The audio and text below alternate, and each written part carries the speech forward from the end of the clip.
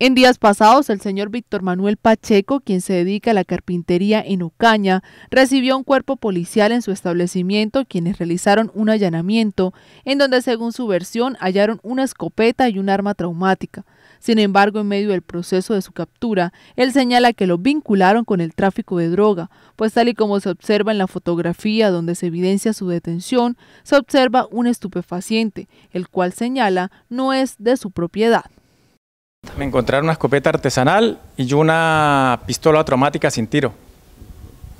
Pero entonces me llevan a la SIGIN, a la estación de policía, y allí me ponen, me ponen, o sea, me obligan a tomarme una foto con, con drogas, con tiros, con otra pistola, donde yo no quería dejarme tomar esa foto.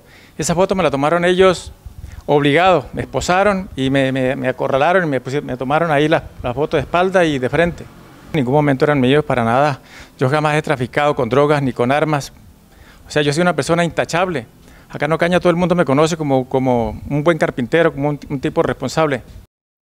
Luego de recobrar su libertad, hace un llamado a la policía a rectificar su caso y a limpiar su buen nombre. Asegura que durante muchos años se ha dedicado a la carpintería y no es un delincuente como parece estar sindicado por parte de las autoridades.